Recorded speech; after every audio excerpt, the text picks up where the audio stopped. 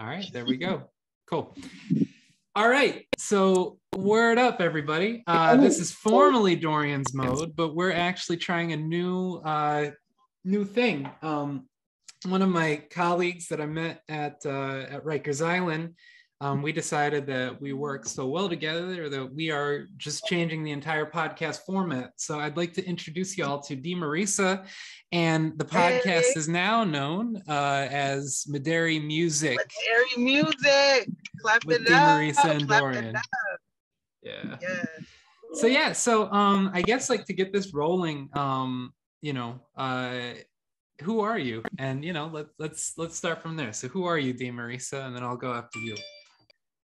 Okay, so who is DeMarisa? DeMarisa is a mom. She is a woman. She is a uh, community organizer. Um, she is a musical healer. Um, she is a spiritual being um, who is on assignment, journeying on this plane. Um, and she is an advocate for many marginalized populations. That's who she is. Who are you, Dorian?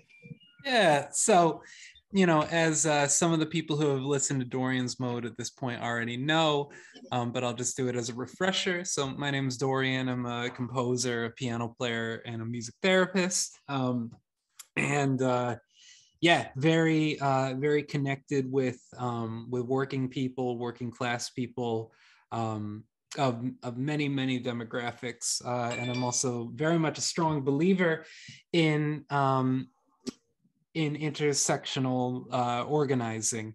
Um, there are people uh, across an entire spectrum of humanity that uh, really should be collaborating together uh, and don't realize that they should be collaborating together because there are some nasty uh, conditions that have been set up uh, for for us, um, quite literally.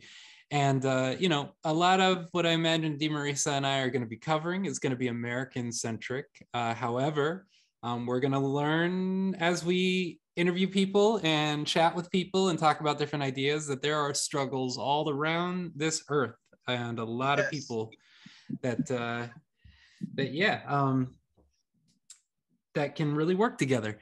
Uh, so yep you know the the the that's kind of our intro. Um just to put it out there so d and i started working together uh, at um, the fine and performing arts uh, division at rikers island. Um, and we were both uh, really drawn towards that work uh, for I, I mean i've heard you say it d as um, as divine work or or yes, yes. work yeah. So so could you elaborate a little bit on what you mean by that? Um, so I say divine work in that I did not intentionally choose it, it chose me. Um, and in kind of saying yes to that assignment, both mentally and just spiritually, um, and not connected with any particular practice, right? Just like um, receiving what the universe is saying in a in, in a form of discernment. Um, I was drawn to it, but also just uh, a great fit, very impactful in doing it. Um, and it, it felt good in my spirit. Um, and so that's when I that's what I mean when I say divine work. Like it wasn't, I didn't wake up one day and say, you know what, I'm going to be an arts coordinator on Rikers Island and I'm going to do music. I definitely walked into the profession blindly, knowing that I have uh, a myriad of experience in the realm of art, whether it be um, fine art, whether it be performing art, and just dance. I mean, so I didn't really have a direction to go in but kind of felt intuitively so that there was something that I needed to unlock in this space.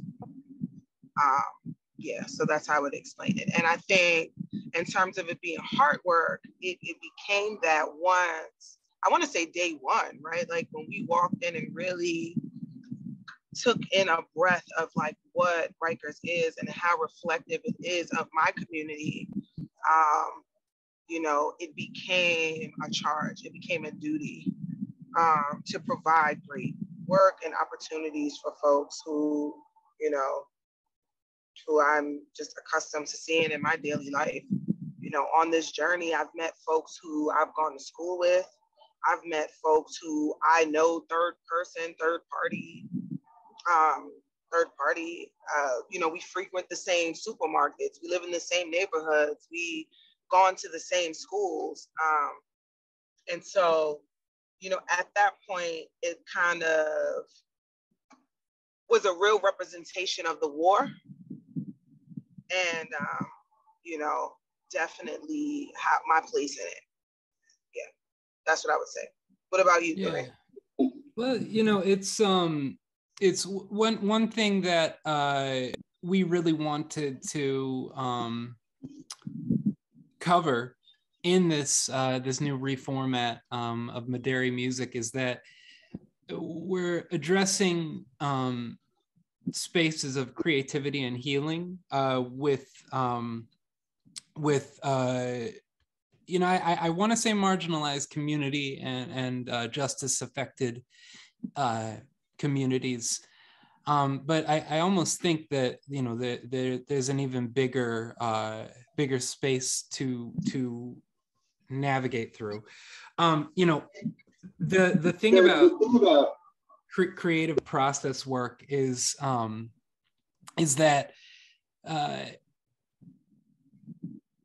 you know the the the human spirit has has been um, use utilizing creativity as as a, a way of of expression. Like, like the thing i always say that separated um, the human being from from the other animals was the moment that we started to use our voices for something beyond um, beyond communication but actually something uh, on a deeper deeper form of expression or the moment that we uh, felt our hands touch something and realized that there was a rhythm there and with some form of intentionality recreated that that process um, you know that that's really the moment that that the human being uh, started to started to to elevate uh, in a different way. And i'm not saying that um, other animals or other beings are not capable or uh, and anything like that. It's just more of a uh, you know from my day-to-day experience is that the, the human being is is consistently um, elevated. And uh, yeah the the thing about working within the the prison industrial complex is that um, you know we're we're really meeting human beings at a human level. Uh, because um, it was actually described in, in one of my therapy settings uh, with with a therapist how I I was having difficulty uh, coming to terms with the duality of an individual I was working with um, because I, I found um, the the criminal act that this individual had had perpet had had uh, had had done. Um, I, I was so troubled on a on an ethical level uh, addressing this human being, but I also uh, just met them uh you know and they're this creative brilliant individual and there's just so much more to them than this uh, particularly dark space in their their mental capacity. Uh, and um, my therapist really put it it was like it's almost like you're seeing humanity at its both extremes and it's all in one circumstance. And so um, you know, I, have found that uh, the folks that we work with on the inside, you know, a lot of them um, are are they, they they have this sort of facade that they've put up um, as a protective barrier. You know, it's it's like a trauma wall. Uh, it, it's a way to keep to keep an individual protected uh, by by um, putting up these just you know oftentimes ridiculously uh, toxic masculinity like fronts um, and you know it's it's it's it's a way to to protect um, the the the fragile human being who is who is inside of of these struggling individuals. And it's just that yeah cre- creativity has uh, a way of of reaching folks uh, in a way that that um, you know colonialist talk therapy is not necessarily uh, capable of at least in the the initial breakthrough stages. So yeah um yeah yeah how about you Demarissa? um i mean i think you unpacked it for me um i would say well, I would say I, I, I believe the drum, right? Just something, just taking to the drum for a minute has like a unspoken connection to the spirit. Um, and when you include other elements of music, I think they have a power of activating um, emotion without words. Um, and so for me, that in of itself is why music, right? Is because I actually, it's funny because I am always in awe of the the reaction or responses that music evokes out of the body, um, even subconsciously. So, so much that like I named my son music. um, but yeah, and so music to me, it, it's an unspoken language. It's a universal language. Um, and I'm in my experience um, within uh, our work, you know, it definitely broke down language barriers. It definitely gave an equal opportunity for folks to process and digest where they were currently, sometimes what they had been through already, um, and fostered a connectedness where we could kind of strategize on what to do next. Um, which is beautiful when you are servicing folks from different walks of life with different communication styles, with different love languages. I think that too. I think for for most, I know there are a few people who just aren't music people, but I would say for most, lo- music is like a love language. Um, and so, you know, when you are into into this hard work, the one thing you always want to have at the forefront of the journey or of any practice is love. You know what I mean? And love is multifaceted, right? And so, yeah. Mm-hmm. Yeah, it's almost it's almost like uh, there's this really beautiful concept where you know if music makes you uncomfortable or if you're listening to music that you don't like you're still having an emotional response uh, yes you, know, you know it's like and and and it tells you about yourself or it tells you about your community or where you're coming from um, yes yeah it's you know uh, i one of my favorite incidents um, inside uh, inside Rikers was there was an individual uh, who was complaining about the music of the youth of today and how violent it is and how awful it is. And this was literally in the midst of us listening to Give Me the Loot by Biggie, uh, which is literally a song about robbery and like attacking pregnant women to get their jewelry. It's right. and you know, and by the way, I, I I fucking love that song. Like it's like it's right. a, it's it's an amazing song, but it just cracked me up how it was uh it was like it was like all right man like you know you're listening to music that is literally talking about the things that you're uncomfortable with in in the modern music. So maybe there's a generational communication that that you're missing out on. And and i've always found that uh, you know if i find music uncomfortable like i i listen to it like two or three more times because uh, you end up learning about um, you learn more about yourself than you do uh, yes. uh, than you do about um yeah you, you learn what it is that makes you uncomfortable. Right. And, right.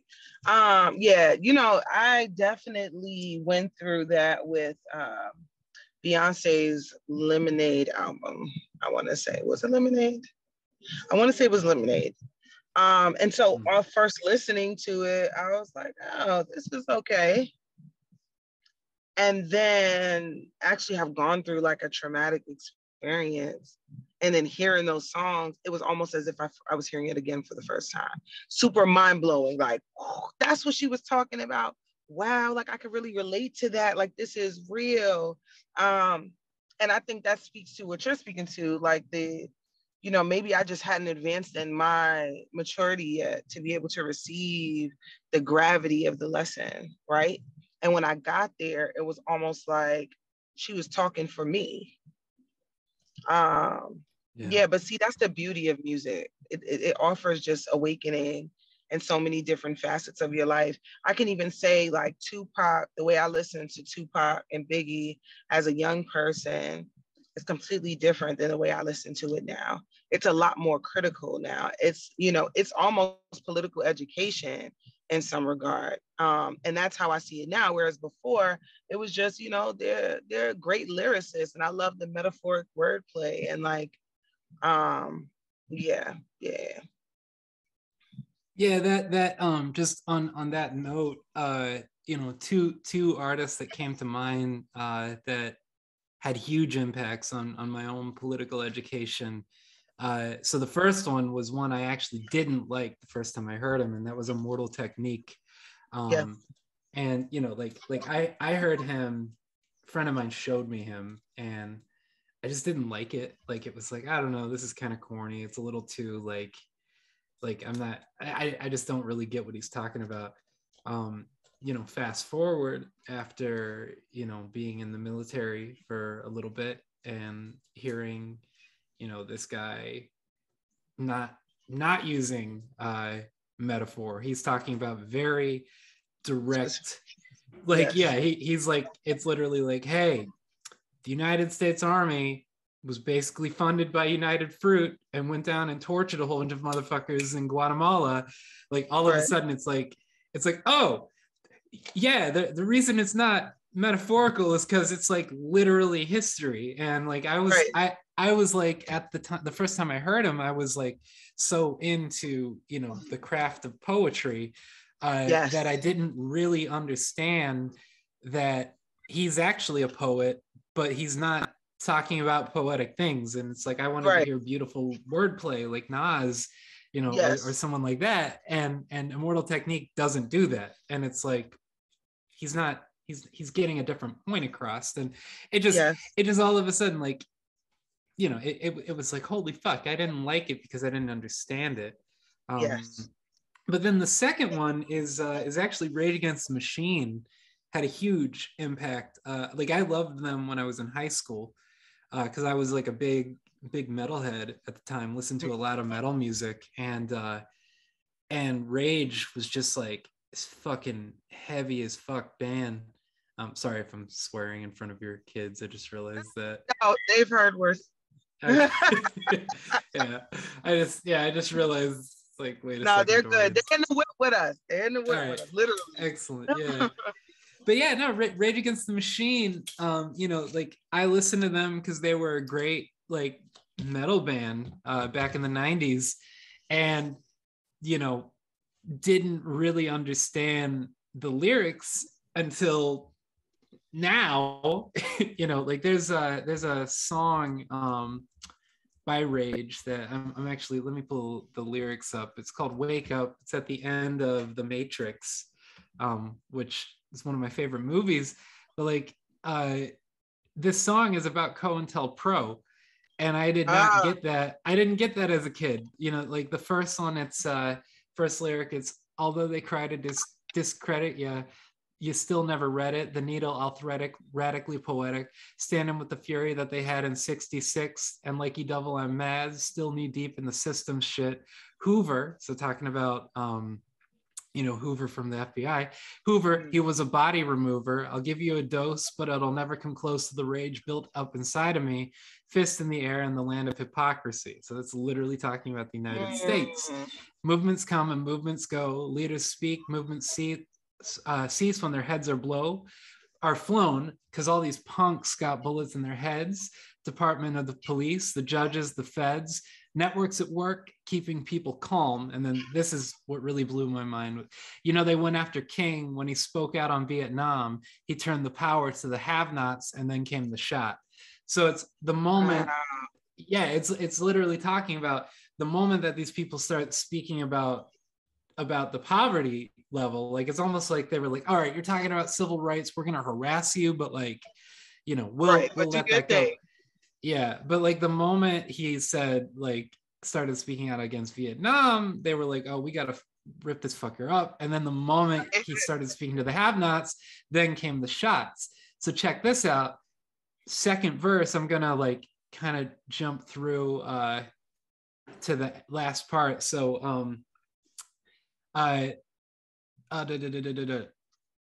um okay so yeah several federal man who men who pulled schemes on the dream and put it to an end you better beware of retribution with mind wars 2020 visions with murals and metaphors there's networks at work keeping people people calm you know they murdered x and tried to blame it on islam he turned the power to the have nots and then came the shot so that's about uh that's About right. about Malcolm X, and it's the same Yeah. kind of thing. Like, you know, they uh they FBI literally started giving weapons to folks to get rid of Malcolm X. And in the interlude, they literally read uh, some of the text that uh, that that was found in, in FBI documents a couple you know years later when they released it publicly. But uh, it goes, Black nationalism may be a brave contender for this position, but should he abandon his supposed obedience to the white liberal doctrine of nonviolence and embrace Black nationalism through counterintelligence, it should be possible to pinpoint potential troublemakers and neutralize them. Like that's Mm. you know that that's actual shit that the FBI was putting out there uh, just in this song by Rage. Against the Machine. And, and so, anyways, all of that fucking ramble uh, to say that um, it took a long time of maturing to really understand that the music is what drew me into Rage because it was like, you know, it was a metal band, but like mostly POC in the band and, you know, like very hip hop, very punk, like influenced. Um, and they had this really radical uh radical um message that i didn't really understand when i was 15 uh didn't Yeah. even really understand when i was 25 to be honest Yeah. so yeah do you have any music that uh that really impacted you i know you had said lemonade um Um, lemonade on a more personal level. I'm trying to think. Uh, terms of community. I mean, I've always listened to like the Lauren Hills. Um, I'm trying to think, like where I don't know. I'm a little all over the place with it. Um, you know, definitely a one mic fan. Nas.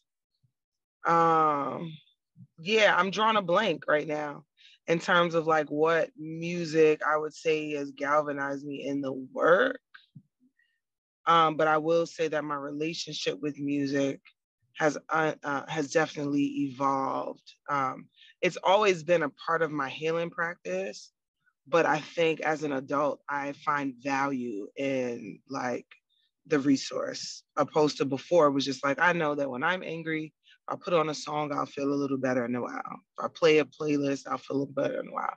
But now it's just like knowing that that's my go-to. Like it's been a long day. I definitely need. It's a need. It's a necessity.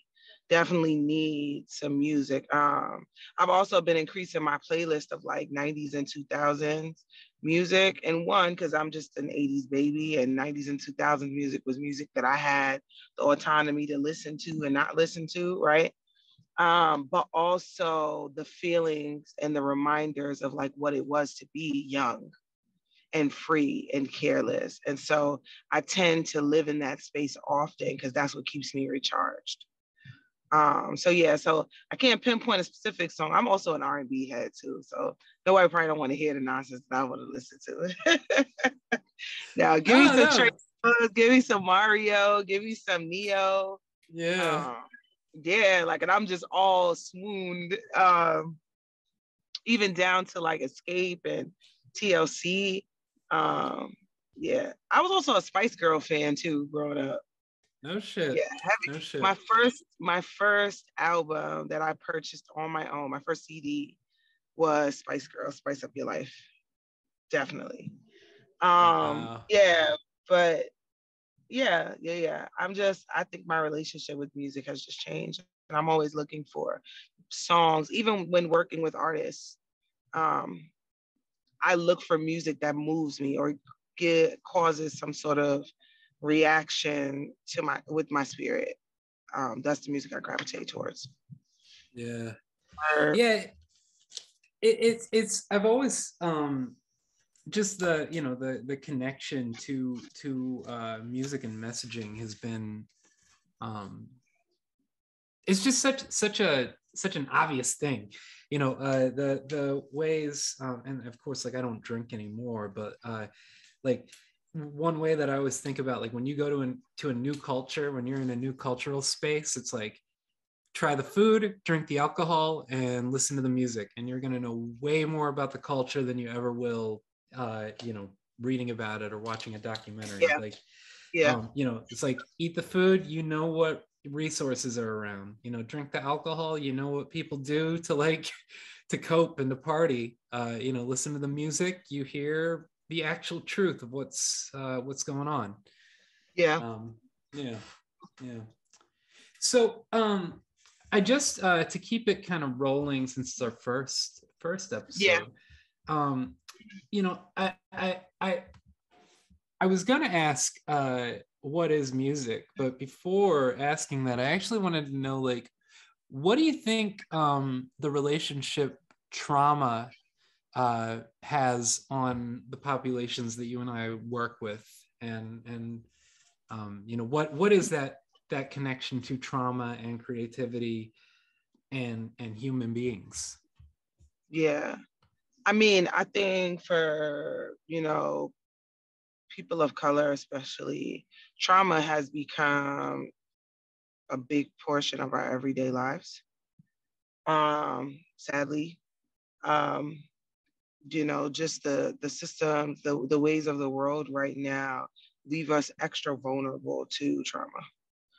Um, down to what we eat, down to our options, down to where we work, down to how we're treated at work, down to our opportunities of advancement at work, um, you know, down to the resources that we have when we're parenting children, down to, you know, the justice system breaking up our homes. You know, there's just so many layers of trauma. And then we didn't even unpack like generational trauma. So stuff that we were just born into anyway. Um, that all go back to just like slavery. Like we just have not healed. I think um, like music for some is the Red Bull or like the vitamin C, vitamin D, and that like the multivitamin to um, kind of give you the energy to endure. Um, for some, it's an outlet, and I think art in general, it's like that vitamin supplement.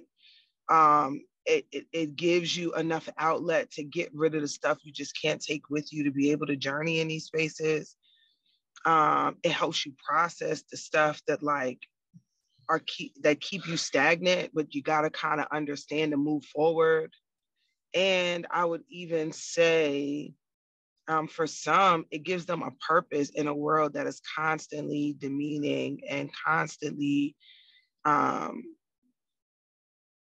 undermining talent and constantly blocking out spaces where one can be themselves or reach self-actualization or just be expressive. Um yeah and, and just kind of in a spirit of like just slavery and like freedom it's the thing you can take with you. You know what i mean? It's like a tool that you can take yeah, with totally. you. Right? Um yeah. yeah and yeah yeah that's my thought yeah it's you know um i always think about you know you, you can't address trauma without being politically engaged. And um you know there there's a it's like a joke in in like the world of trauma experts. But uh you know if we took into account trauma uh with um with psychological disorders the DSM would just be one page. Um yep you know and and it's uh yeah it's it's um there's transgenerational trauma that uh, is just you know it's so apparent uh, with so many people you know the, the folks we listen uh, we we work with and, and listen to um, you know their their uh, their intellect is oftentimes so high um, but then their their emotional um, coping skills are so stunted. non-existent sometimes. Yeah, yep. yeah, and and it's just you know it, it comes from. I mean, you were just saying, you know, like the food that that people eat and the environment that people are born into, um, and it just it really creates this ongoing um, cycle of of pain and and yes. agony um yes. and you, you know so like i'm i'm somebody who uh who has been diagnosed with ptsd and it's like number one it was just very uh affirming you know to actually get to get you know a doctor to have multiple doctors like actually like look through my case and look through my life and just be like oh yeah you you have ptsd like right. you know you you should uh be treating this. And it just it really impacted just uh, self-care um, in in so many realms. But it also has made it a little exhausting because it's like there is just constant maintenance that has to be done um, and you know we look at uh, like my daughter for instance and it's just like she doesn't have trauma yet. There's probably some transgenerational trauma in there just by nature that i'm her father. Um, you know but how do we how do we address it early on you know mm-hmm. at at this stage? Um but to to to get more um into it uh you know right now uh the the evidence is showing that trauma coping skills uh one of the major uh major keys uh, for for coping through trauma is actually community engagement and yes. and expressing the trauma and um, i actually just uh, just read a thing where um, it's from the the judith judith lewis herman book on um, trauma and recovery where she was citing how uh, there was a study done with a whole bunch of people who had been diagnosed with PTSD and had formed a sort of a collective healing group. And one thing they actually found was that life got almost more difficult in some ways uh, because they were actually addressing their trauma and standing up for themselves uh, mm. which which is something I think uh, you and I have experienced uh, in, in our in our work. Uh, you know, when it's like, wait a second, like y'all are not gonna fucking take advantage. And by the way, like we're not talking about the the incarcerated people. We're talking about administration. Um, Word. Yeah. Word. But the record reflect. Yeah, yeah. It's just you know, it's it's that kind of thing where um, you know, you start standing up for yourself, and people don't actually like you to stand up for yourself. But the irony is that, you know, they're probably suffering from trauma too, but it's yes. unaddressed. So they're yes. acting like a fucking fool. And yeah, yeah. yeah. So, so anyways, it's just, um, you know, trauma is a political issue. Uh, because you know look at the way that um, you know that your people have been and, and continue to be treated. Uh, you know let's look at um, you know any veteran who's ever gone overseas you know you are that war is a political issue. Um, yeah. look at domestic violence. That's that is a political issue. You know the the the very fact that there was a me too movement you know it's it's it's like that was about power dynamics and yeah um, so yeah, so trauma is inherently political, and if you are not actively being political, you are still being political, but just not uh, not in the good, not on the right side. right, not in a helpful way. Yeah. Yeah. So, um, you know, I got two more questions to just kind of get through this first episode so we can, you know, establish some shit. But uh, real talk, what uh, what is music? Hmm. Music is my son. no. That's what music is. Nah, um, but it is. Music is my son. Music is the center of my world. Music is my grounding piece. It's my talking piece. It's my spirituality. Um, it's my duality. Um, it's my permission to be my alter ego, my um, my non-earthly self. It's that it's that it's that chord you always talk about. What is it called, Dorian? uh, which the which chord, chord, where the pain is? The chord where the pain oh, is. Oh, it, not not a chord. It's a note. It's the blue note. No, in, the uh, blue note. Yes. Yeah. Music is the blue note of life. It's the it's that space in between that like you can't name. It's where the pain is, but it's also where the triumph is too. You know, it's where the rejoicing is. Um, yeah, it's your permission. Music is your permission. That's what it is. It's it's the it's the validation. Um, yeah, it's like everything. Yeah. Yeah. So I'm gonna give two different perspectives on on what I think about what music is. Uh, three. Dorian. Uh, what what's up? I said, come on, Dorian. Yeah, yeah.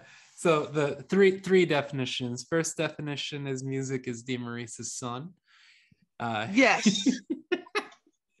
no, but um, I'll, I'll give it sort of like a technical definition and then uh, more of a spiritual definition, uh, or at least a spiritual identity.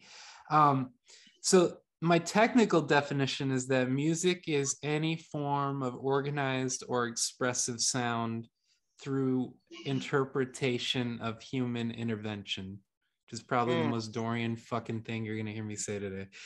But Yes. uh, but the way that the way that I think about it is that you know when a bird is singing, uh, the bird on its own terms is not necessarily making music. A bird is communicating to other birds, or it's, you know, it, it, it's using it as a as a as a practical sound. Whereas when it's the human, and I'll actually change it to sentient intervention, uh, but when when a sentient being hears the bird and interprets it as music, it becomes music.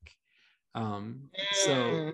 so it's you know uh, a bird is not necessarily making the singing sounds for musical purposes it's it's for communication uh, whereas you know i literally uh, open my window up and just listen you know to birds and it it puts me in a state uh, so that's my like technical answer um, but on a more spiritual answer you know personally it it, it, it is my spiritual practice uh, you know, Mm. I, I kind of joke that I'm a I'm a musical Taoist or a musical Buddhist or you know some something in that realm. But one thing that uh, I found so interesting is when asking the question to folks that we're working with uh, who are incarcerated or uh, with some of the dance people that I work with. I teach a class at the Martha Graham School, uh, their music for dancers class, and I always ask the question, "What is music?" People who do not do music uh, in a you know capitalist form of professional uh, will de- they pretty i will say consistently define music as it's something from within. It's something you connect that's bigger than yourself. So it's the sort of cosmic energy. Come And, on. yeah it's just it's so wild because you know like we'll hang out with crips we'll hang out with bloods we'll hang out with you know people who are in protective custody uh, we'll hang out with modern dancers or ballet dancers and you ask that question and you get the same answer which is Yep. music is something from within but it's something bigger and it's a connection of within to that bigger thing And okay. you know, like the reason I put the technical definition out first is because like, you know, I, I do like to think in that way. But on the flip side of it, uh, that is an answer that I learned and like shaved and crafted to get to versus when I was a kid and getting into music had nothing to do with that. It was right. about that inner connection to something larger. So yeah, so, so that's what I think music is. Um, and that's actually why I think music has healing capabilities uh, for mental health um, in certain regards that uh, that talk therapy is just not quite able to access. Um, no, I mean, there's also just no judgment in music. Yeah. Like, think about it. Have you ever listened to a song and felt ashamed? yes. Yeah. See, I've never listened to a song. I've I've now I'm not saying that there's like you don't you can't get consciousness from music, like clarity, right? So I've true, definitely true. listened to a song and been like, dang, I did that. Or dang, I can relate. Or, you know, yeah. probably brought me back in touch with my younger self, my heyday. Um, but even in that, it's a it's a it's a two-sided relationship with yourself it's your it's your, it's a relationship with your it's your conscious meeting your subconscious. And so to me personally there's no judgment there. There's no real judgment there. Maybe some processing but like you're not ready to throw the book at yourself for some some some shit you heard in a song right? It's mm-hmm. just like you know it's an opportunity to reflect and i think that's the beauty of it. It's the yeah. beauty of it. You can think- be imperfect in in music I think uh, just to clarify what I was saying uh, in response to that, when you asked if I ever felt judgment, and it was like actually the music never caused that. That that was me judging right. myself. It's like the music right. may have opened that that that, that you know portal, yeah. passage. Yeah, that passageway, that portal. Uh, but it's not. Um, the music itself didn't do that. Music just right. shed it just shed light on my own being. Right. Right, and that's the beauty of it Music is the one space where you're not going to find judgment. Music and babies. yeah. Yep. Yeah, you're right. Well, it's so, you know, there's um do you know the band The Insane Clown Posse? No. So, they're um I don't think you'll like them. Uh they're uh really really uh they're they're they're a horrorcore like hip hop group from Detroit. Um, okay. And they're another group of white rappers, not Eminem, uh, but uh, skill level. We'll just say skill level uh, as MCs is like the antithesis of what Eminem's skill is. They're they're not very sk- skilled dudes, and uh, they wear this ridiculous clown makeup. Um, and not the clown makeup yeah yeah yeah. Well so anyways um this is an exercise I, I give to students which is find music you hate and listen to that music for four days straight and then decide why you hate it. Like explain you know it's like really get to know it. So anyways i did that to myself with the insane clown posse because it was like I, I just i don't get it. Like i do not get this music. And the reason i'm bringing this up is after listening to it for four days i started to realize that um, it wasn't making sense to me because it wasn't about my community. And in fact it's from a part of my mm. community that i'm like almost ashamed of because it is literally targeted at poverty level low income urban white folks. And and that's the entire messaging. And when i actually started to listen to the songs and the, the messaging that they're talking about it was like yeah like their lyrics are ridiculously stupid and like the gimmick is absurd. And like the beats are not not good. Um however however like they're talking about domestic violence and the right. problems so they're talking impactful. Yeah. Yeah and it's just like it's like it, it just as as we were talking about a moment ago it's like the reason i had the reaction i did was because it's like oh these are this is about the white people that i like have issue with like you know you know that Yeah. that were my own classism. Like they're the people who are a class below me. And Right. and you know where i can empathize almost with uh with folks of other demographics like if it's my own demographic i still sh- have this shame. And it it was like a it was like a big eye opener because it like made me go okay whoa like you just did the thing that you said you're never going to do and you're still doing it Right. at this unconscious level to the point where when you know asking your own question what music do you hate this is the music that came up and yeah so like we were I, I listened to it with some friends and like it was one particularly about domestic violence and my friend literally looked at me and he was like man i gotta be honest i don't disagree with this at all it was like yeah Mm. and so like it was like yeah the the you know we're looking at it through the wrong lens like it's Yeah. like it's like yeah the the aesthetics aren't aimed at Pleasing. people like me yeah it's, it's not aimed for people like me but it's like but the Yeah. message i'm on board still- with True, right. yeah I hear, you know, don't shoot the messenger. that exactly that it's don't shoot the messenger yeah. Yeah Yeah. Dang, music is just awesome. i mean they have Yeah, like just Music says just thank you. so there's uh there's let me just like um find these lyrics here uh they have a song um yeah like lem- th- this song is about the confederate flag. It's called confederate flag and it's by the insane clown posse. And it goes I'm in an old station wagon deep in Alabama, wipe the sweat out of my eye, cock the hammer. I see a pickup truck with a rebel flag window, a skinny red neck with one of his kinfolk. I pull up alongside and blast the passenger. Blood, feathers, and bones, a fucking massacre. I kept shooting, hit the driver. He fell in the horn, stuck, threw a Mol- Molotov cocktail and blew up the truck. I say, fuck your rebel flag. Like, I actually don't disagree with that. Right. like like yeah. Yeah. it's, it's yeah i say fuck your rebel flag that represents a hateful sense. I say fuck your rebel flag. It's it's if it's in your back pocket i'm aiming my rockets. I say fuck your rebel flag. That's what you want to wave i stick you in your grave. I say fuck your rebel flag. Stick the fucking flag right up your uh f hole.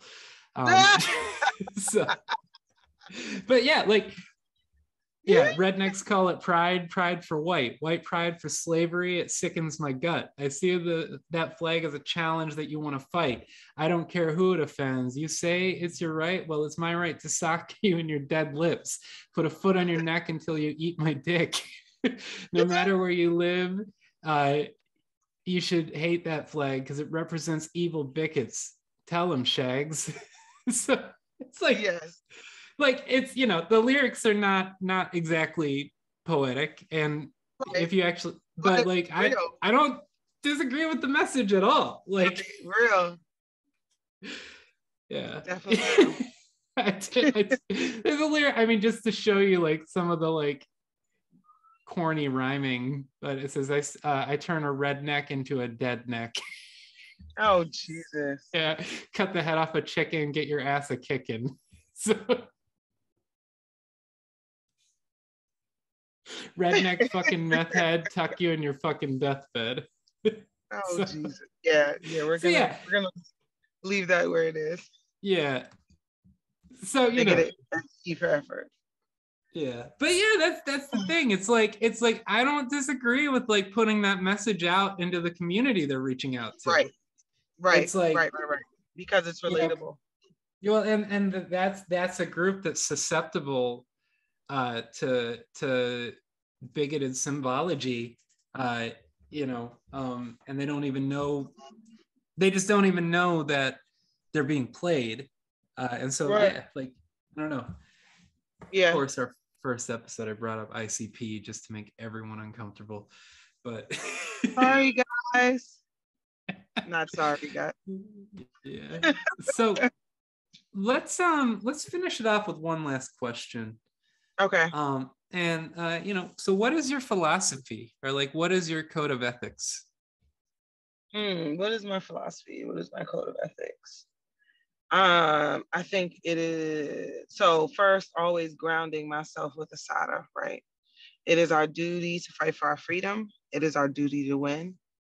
We must love and support each other. We have nothing to lose but our chains. Always, that's my grounding piece. Secondly, I guess it's a bunch of quotes. Secondly, two two men standing in a burning house must not stop to argue.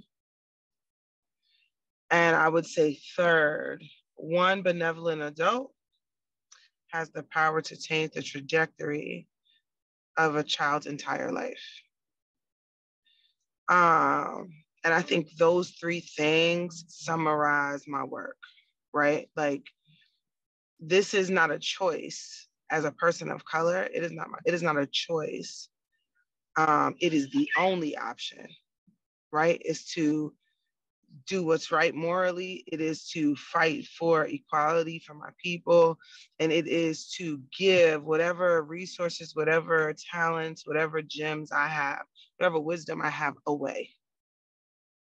Um, and the other part is you know if if we're if we're infiltrating if not if we're operating within a system together we must never be distracted enough to fight amongst one another or to be against one another. And to me that's not about color. It's not about culture right? I think our situation was a real example of like you can just be two people lost in the system you know but solidarity is most important. When something is wrong, when something is um, harmful, when something is not conducive to your mental health or the mental health of others, you owe it to yourself, but you owe it to the larger community. You owe it to your legacy to do something about it.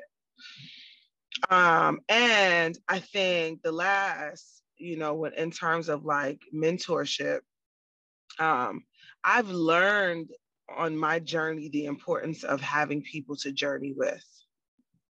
And so I'm thinking that in life and through music, especially, it's an opportunity to journey. And you just should always be ready to journey because sometimes your your next level of self-actualization is on the other side of that journey. Um, so you owe it to yourself being your greatest self, but you also owe it to the community and you owe it to the universe and the energies that keep you going and thriving to always be ready to journey. Um, yeah, and I think that's what I live by. You know, today, uh, a gentleman who I was servicing in Rikers Island found me on Facebook and called and was like, hey, you know, how can I get some supports. Like I need services. Um, and that is big, you know, for for me to have been in a space not very long and impact people to the point where even after closing that chapter in their life, that one of the things they took with them is a memory of me. That is a testament to the work, right?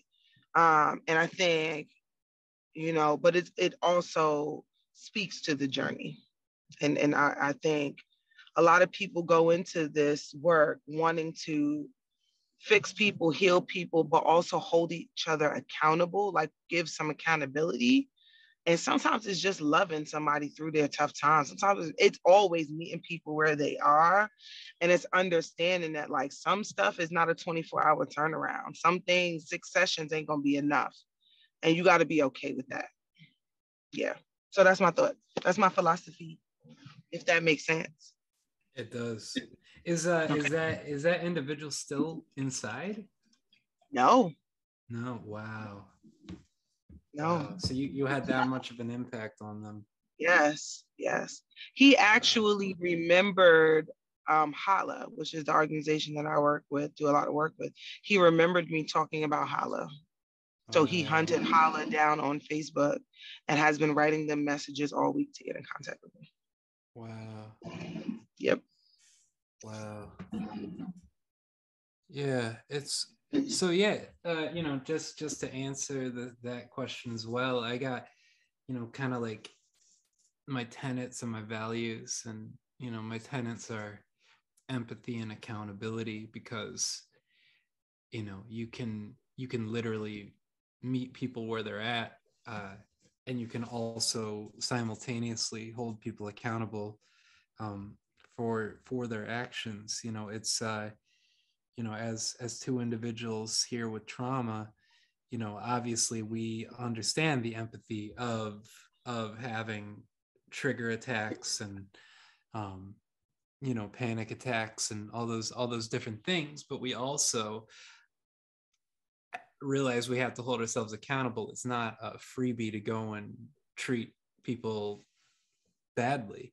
Um, and when we do we gotta own up to it. You know i uh, have really uh, had to be accountable um, with engaging you know ways i've engaged with my wife in the past specifically due to trauma. Um, you know just uh, being ultra defensive about things or uh, like things that she clearly was not intending to to be harmful or hurtful but i just took it that way because uh, i was triggered by something. Um, you know and i'm also trying to make sure to hold myself accountable with my daughter. Um, uh, but you know it's the same thing with uh, a lot of the folks we work with inside uh, you know there there are so many people that they're they're struggling you know they're in their journey uh, but it, you know it doesn't mean that it's just cool with whatever they you know may have have uh, done to another human being but uh, it also uh,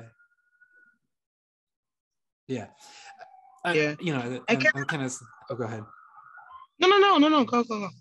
I'll oh, jump yeah, in I was just gonna say, I mean, that's you know one of the issues with the United States is uh, I don't think the culture is willing to hold itself accountable. Um, you know, it's uh, I mean, how long, how long uh, have we? I mean, we we committed a genocide, literally, uh, and then we kidnap people uh, well sorry. We wanted to enslave the people that that lived here uh, when we realized that they knew the land better we genocided them and kidnapped other people and brought them here instead you know to disorient. Yeah. and uh, you know that's that it's still the, the accountability still has not been followed through with uh yeah.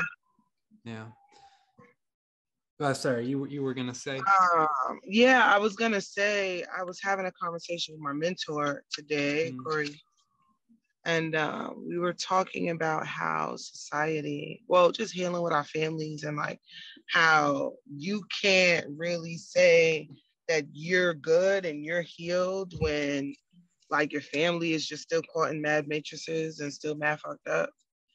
Um, and how it's important for us to heal collectively um, and we got into the topic of like how us, especially as a people of color, but just society too, view formerly incarcerated people and chemically addicted people, and how we we harp on those things and alienate those people and force them to live in shame.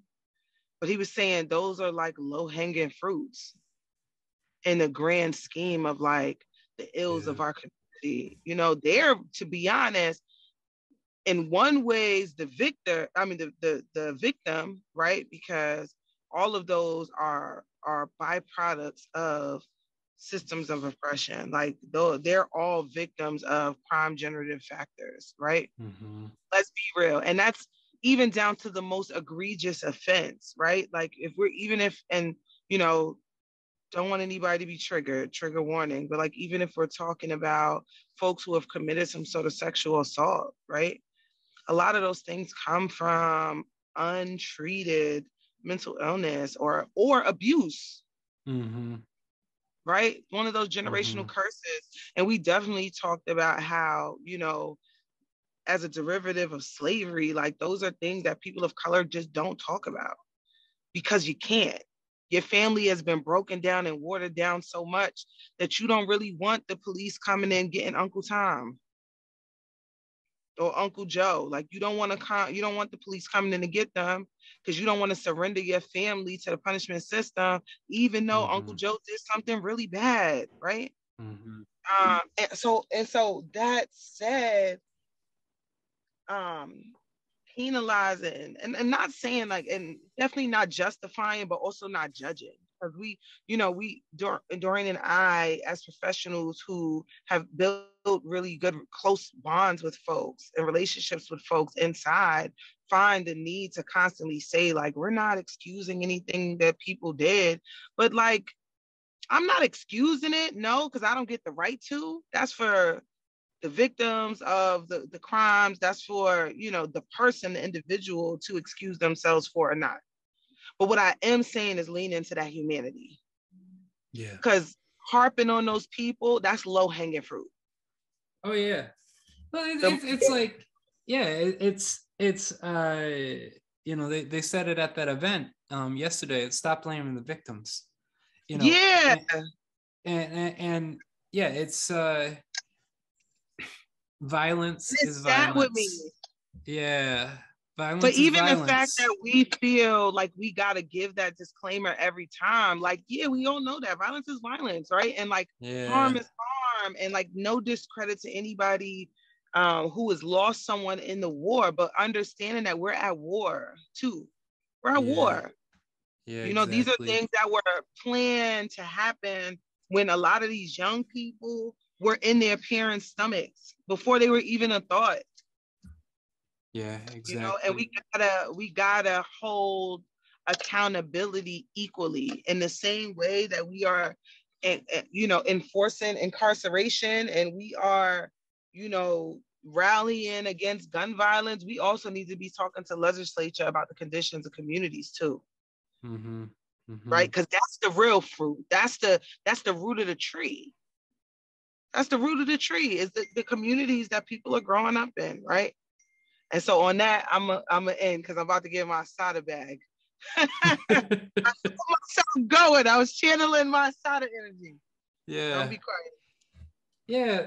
So I, I, guess to finish on on my end is uh, you know the three words I use for my values is uh, service, truth, and nuance. And yes, you know the reason why it's actually in that order is uh, you know service the the the goal is is to be of service. You know that's that's how that's how i think uh human beings find meaning is uh, yeah. being in service to others. You know a spiritual practice reason why we talk about spirituality versus religion is religion's an organization. Spirituality is a is a verb. You know that that's that's the way you are. That's that's how you communicate. That's that's that's your action words. And and so uh, you know, I I would rather uh, be in service to folks than to be in disservice with folks. Uh, yes. And inaction is disservice. Uh, but secondly, you know, the reason I, I I think of truth as the second point is truth is not an objective reality. Uh, and you know, sometimes people don't even know that they're lying to themselves yet and so you know you're going to hear uh, lots of lots of just uh,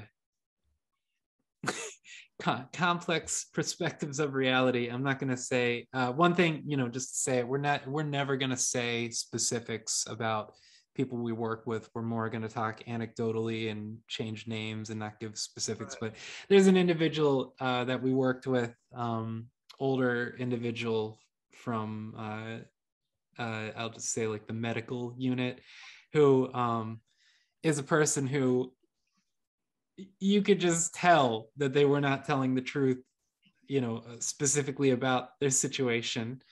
Um, uh, however, uh, this person's also was uh, is is very much fighting a battle because they actually think, and and I actually agree to some extent uh, that what they did uh, that got them into the incarceration system was protecting a family member.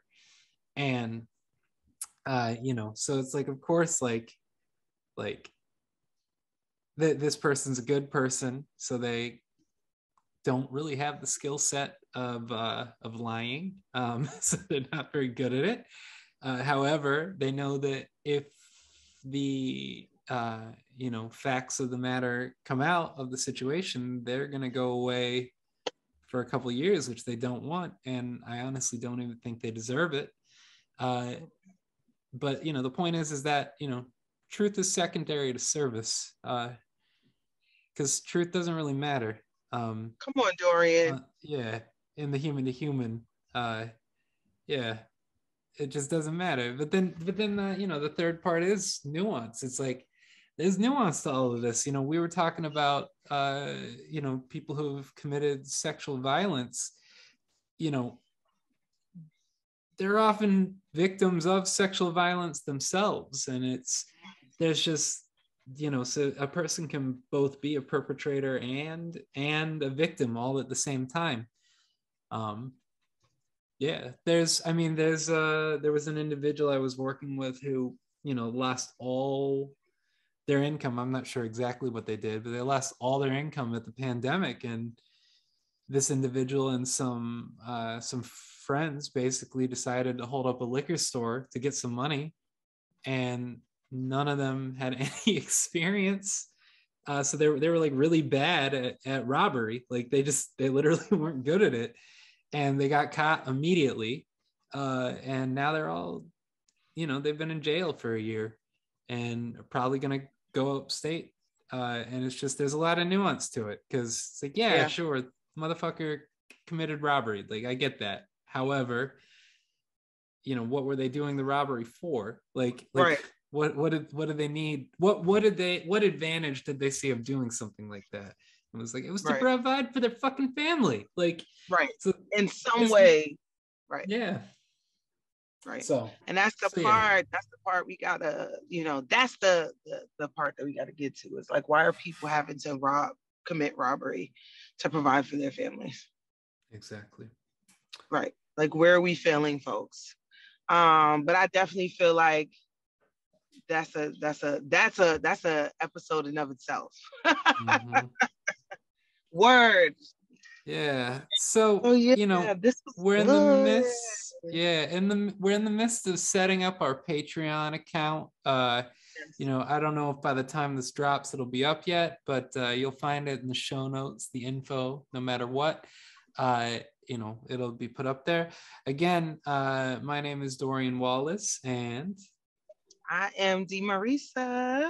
Yeah, and we are the, uh, I guess, creative directors of Mederi Muzik. Mederi yeah. means to heal, and music means whatever the fuck you want it to mean. That part.